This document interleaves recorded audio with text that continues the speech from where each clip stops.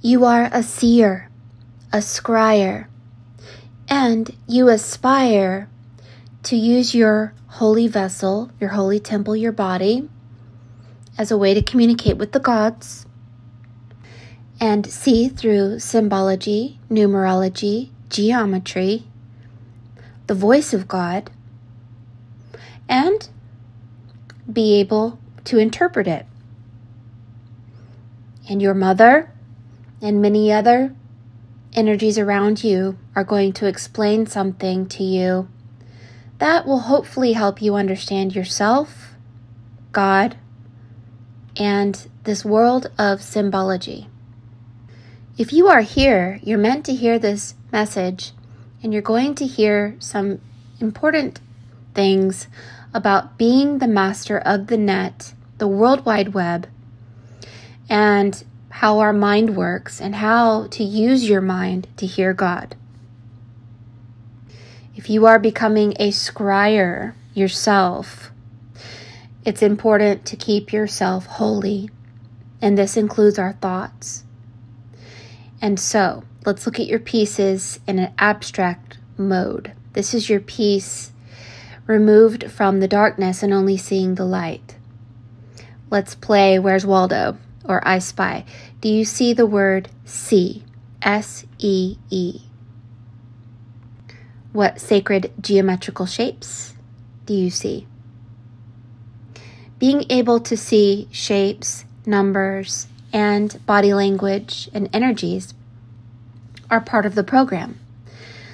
The first thing I always look for are opposites and some connection between off and on, light and dark, this piece right here reflects that you have a mind which can go anywhere if you cut your head off.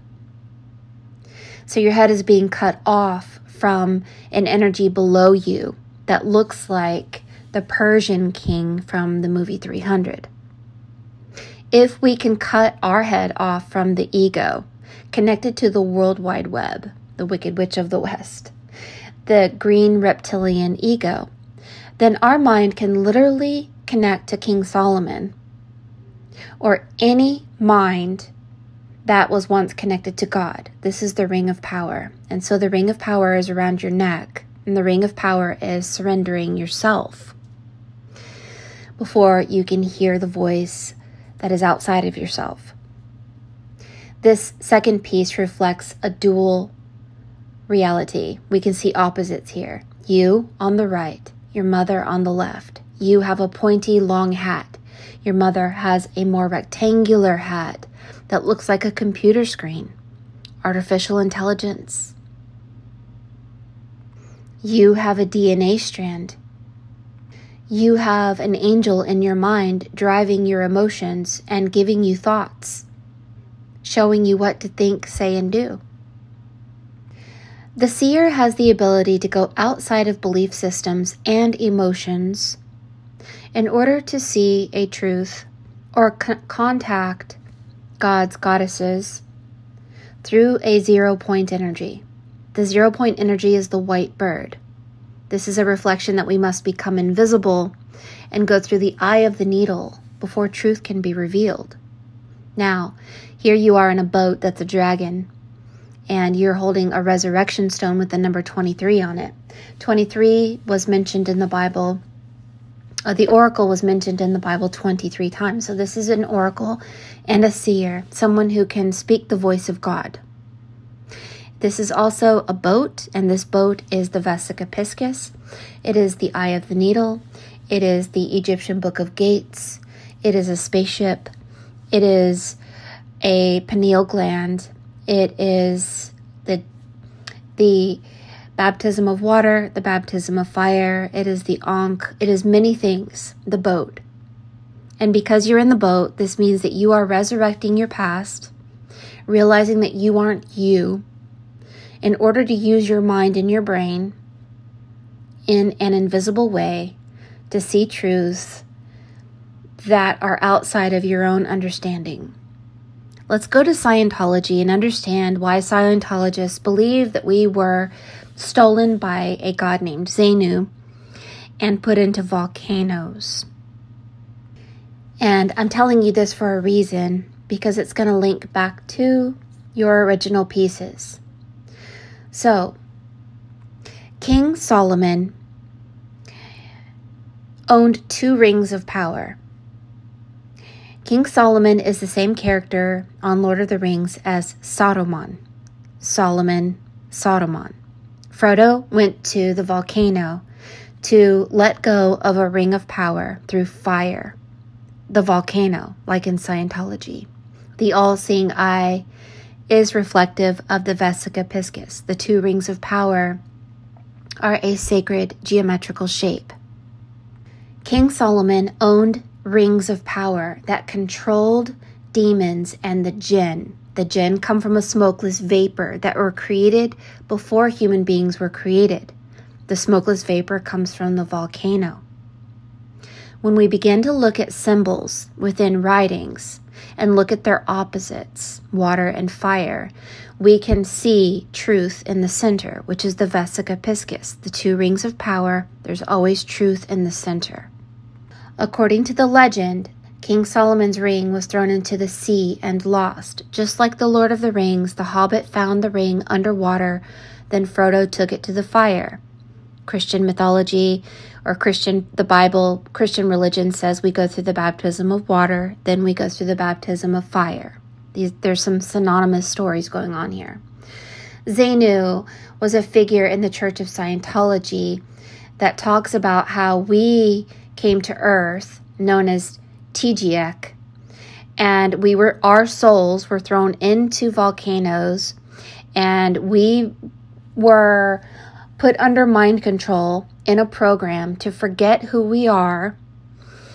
And many masters came to remind us who we are through the symbol of the Vesica Piscis. This is the eye of the needle that Jesus talks about.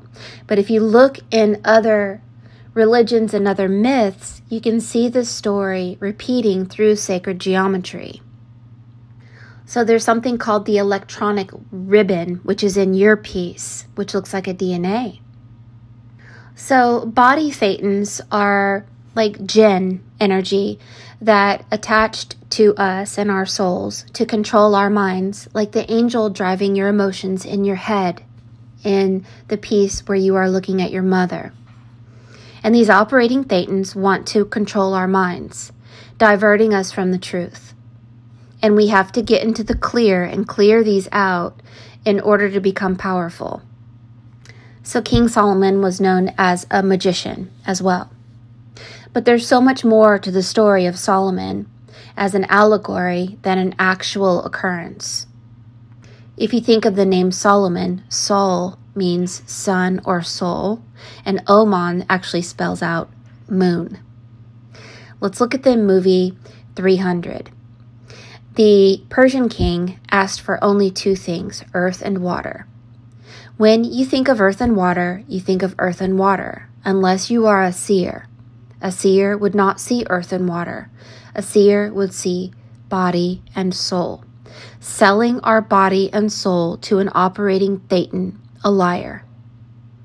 Someone who wants to keep us under mind control so we never remember who we are and we are never free. Watch this clip of 300 and look at the symbologies of when the messenger comes to the king and says, Will you give this Persian king earth and water? Because if you give the Persian king earth and water, you'll be free, which was a lie. But to be a seer is to be a king, is to be King Solomon, Solomon. And a seer knows that God speaks to us all the time through elements like the ring of water and the ring of fire. These are the two opposite rings that, that create the vesica piscis in the center. The truth is always around you, and all you have to do is be aware of it. So, when the Persian king looked at the messenger. A king is a seer.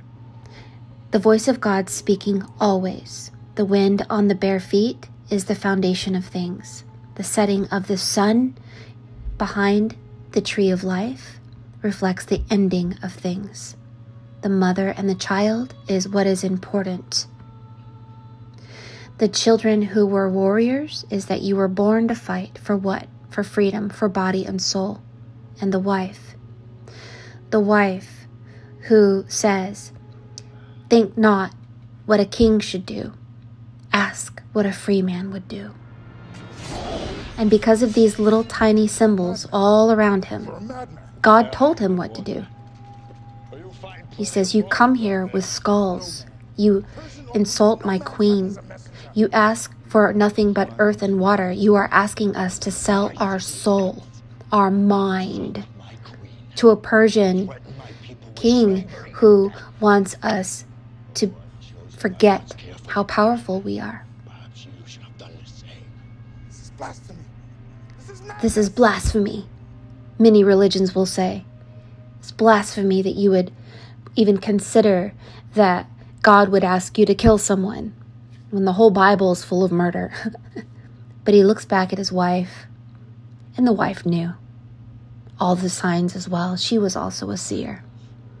God is always talking to us, whether it's on paper, in our heads, or out in our world. And if God tells you to kick someone into a ring of power, a circle, you do it. The transformation from lead to gold, or from gray to white, is what Gandalf had to go through. Gandalf was Gandalf the Grey. You can see the White Queen behind Gandalf, the invisible female always behind. When the male merges with the female energy, you have to go through the baptism of fire.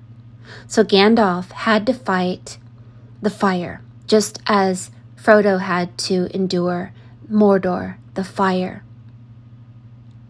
And this fire energy is the dragon. It is telling you, look, we have been under a program and a mind control by a Persian narcissistic king, an operating Thetan, who wants to keep you out of the eye of the needle. Cut off the head of the ego let go of the skinny Smeagol, which reflects our spirits being starved to death, the Divine Mother being starved, and let it go into the fires of Mordor. And when you reemerge, you will reemerge white, like that white bird in your piece. That white bird is the purification, because the person in your head is an operating Thetan who is operating your mind. Above the operating Thetan is the white goose, and the white goose is Isis, the mother. When we go from gray wizard to the white wizard, it is uncomfortable to come out of this program. We go through the nothing, and the nothing feels awful, like the never ending story. And when we are left with a grain of sand, we suddenly shift to a new world, and here we will have the return of the King. Then the Messiah will return, like in the Bible, and we will find ourselves in a world where all truth is revealed to us and we be- can become a seer and a voice of God. God will be our mouth, our hands, and our voice and our feet, and we will be energized with a very holy energy. This is the Kundalini awakening. Look at this piece. There's a man in the water, baptism of water, gets caught in the net. Jesus said, Let's, uh, Let us be fishermen of men. Being caught in the net is being caught in a trap. If you want to come out of the trap, get into the baptism of fire. Here we have the dragon that is the boat. The Kundalini is the snake. It's a portal that takes us out of a lower realm into the fire. And what does the teardrop and the flame make when they meet? It makes the number eight, the infinity symbol. It makes everlasting life. It makes truth. So, resurrecting your past, or what Scientologists call auditing your past, they say you have a piece of your soul in a volcano, um, will help us to get past the programming and illusion, the mental inventory, how we label things, how we label ourselves, how we see religion, how we see the world. It is not what we think it is. And so the resurrection stone is about becoming invisible, listening to the divine word or voice of God, seeing its opposites, seeing through the eye of the needle the elements that God is always talking to you through nature, and hearing it and listening to it and obeying it and shifting out of it. Jesus calls it moving mountains. I call it shifting timelines, quantum jumping, quantum leaping. Watch this video. It will help you understand the divine feminine and the Vesica Piscis. We end up in our own sphere, now manifesting microcosmically as the amniotic sac, as we prepare to leave the womb of the mother and become a separate being in the world. Our larger cosmic process of spiritual evolution is that we go from being immersed in the one at the divine plane level to descending into cycles of earthly incarnations in order to develop independence and in time to reach our goal of becoming a free agent in the universe. This larger process is mirrored in our conditions in the black cube of physical plane incarnation, which are a microcosm of the macrocosmic journey from unity to independence. Our time in the mother's womb is a microcosm of being immersed in the unity of the divine plane. We feel merged and one with our mother as we float inside a sphere in a liquid ocean. Immediately after our birth, we still feel we are part of our mother, not a separate being. Separation from the mother is the primal wound in physical life, just as our separation from the one of the Godhead is the primal wound in our spiritual life. Both experiences are necessary for us to evolve into our full, independent spiritual potential. However, that fact doesn't negate our very real suffering from this separation.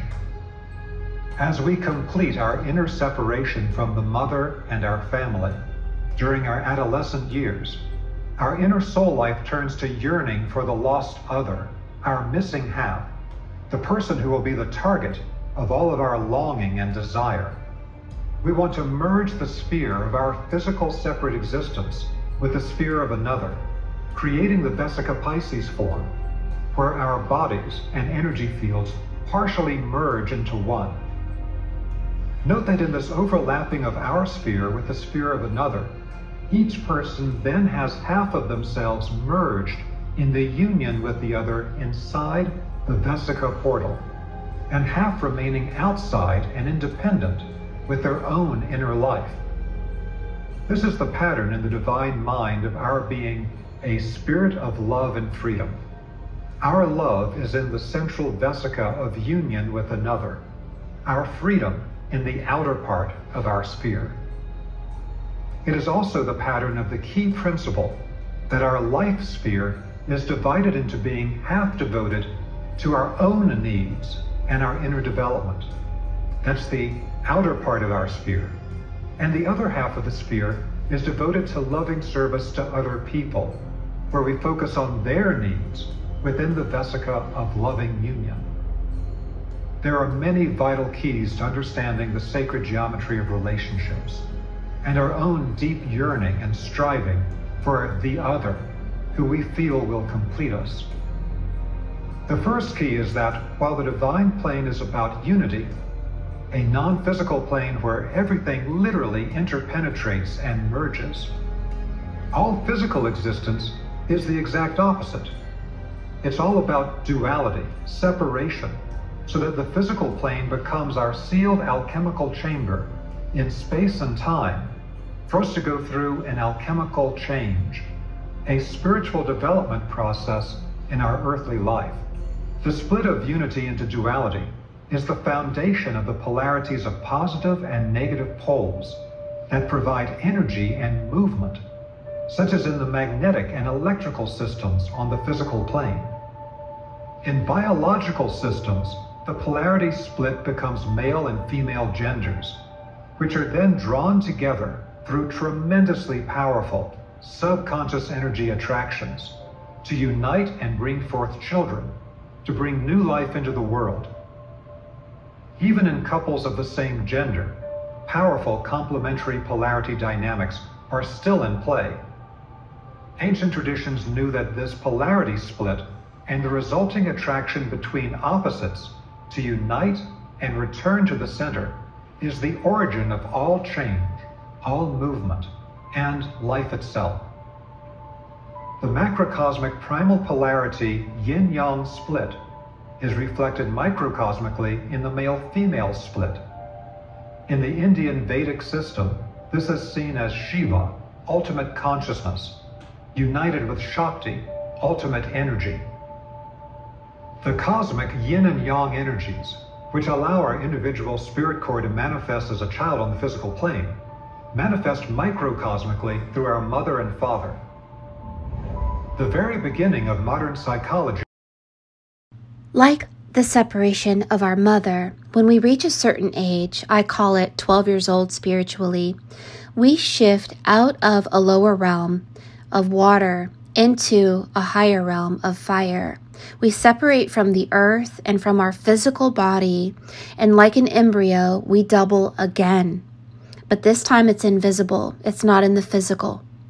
And we form another vesica piscis, and it's very much likened to Odin putting one eye in the lower realm while the other eye is in the heavens.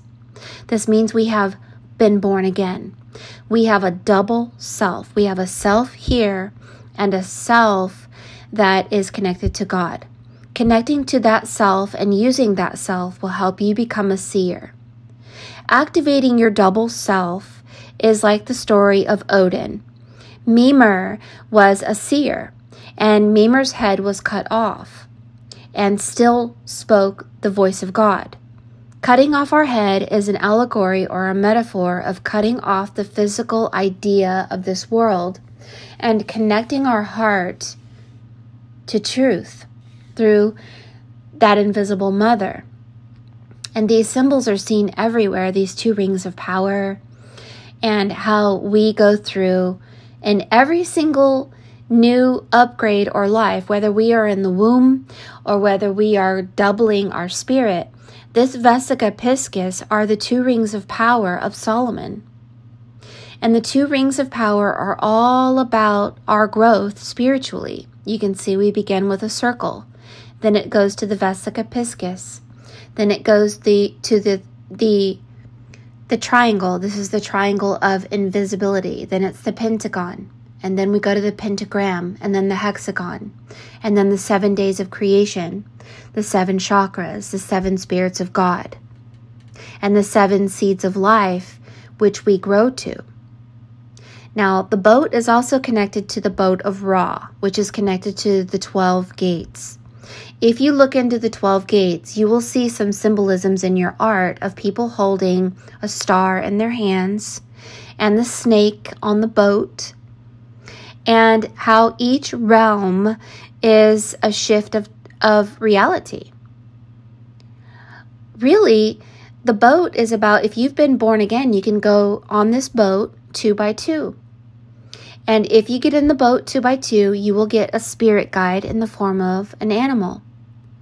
And we were in the body of Christ where we had to die before we die, resurrect, be born again, and have a double self, the seven wounds of Christ with the seven spirits of God, activating our seven chakras through the seven colors of the rainbow, the coat of many colors and becoming invisible through the Trinity.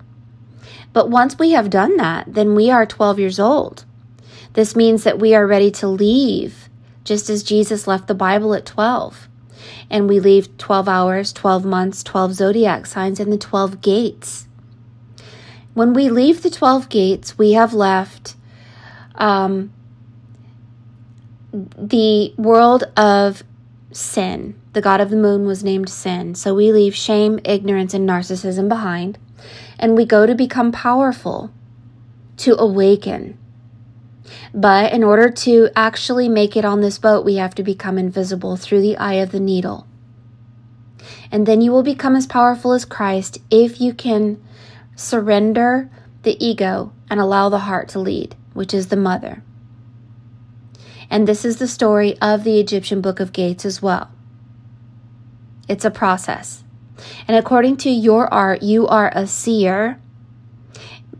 There's some things that we have to understand as a seer. Our mind works like a computer. Focus on the negative world, your mind will actually go there and be part of that program. Seek first the kingdom of God, then all truth will come unto you and be added unto you. You now are in a world where you can focus on truth and find it. You want to connect your mind to King Solomon? You can. Seeing before you see is something I see in your piece, where you are actually visualizing it before you even put it on paper. Seeing an angel in your head doing the work for you and knowing that it's not you who's doing it. Since you've been born again, you have a double illuminated self that is invisible, that is like your spirit guide, like an animal in the ark, who will work through you. You must believe in magic. You must believe that you have this power and that the answers will be there. It takes a lot of practice to see the opposites to see the numerology, to see the synchronicities and the communications of God. You may end up seeing something in your mind or your head before you even see anything on the paper, and you may be very psychic. That's something I'm lacking personally. The rainbow bridge that you see here is uh, that your mind can go on an invisible rainbow bridge through the energy of the sun and this is the circle with the dot in the center. This is the spiritual plane. You have the ability with your mind to cross a spiritual bridge and actually contact God and all the ascended masters to be a seer. Really realizing that there's only one piece of you that's in this reality, and there's another half of you that's in the sun that can work through you and speak through you and help to transform you from Gandalf the Grey to Gandalf the White. Because your cap looks like a Gandalf cap and it's kind of grayish.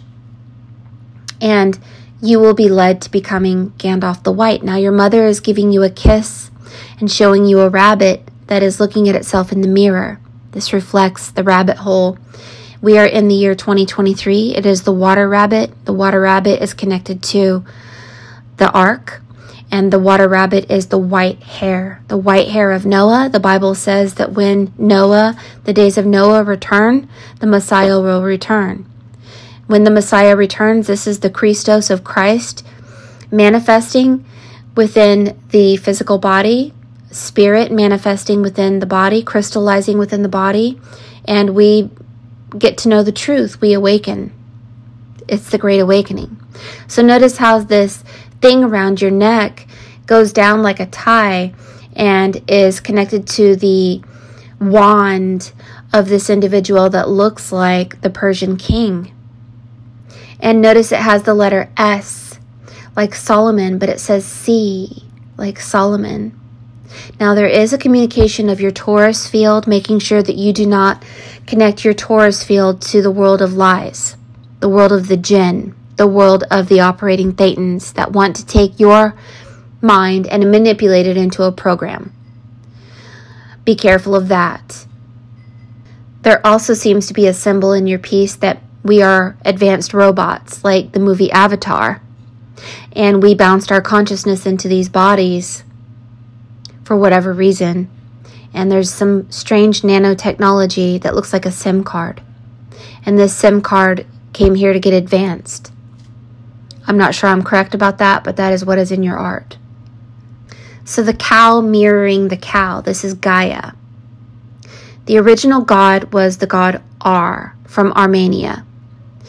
And he was called Our Father, who art in heaven. It is the opposite of how the name Ra is spelled.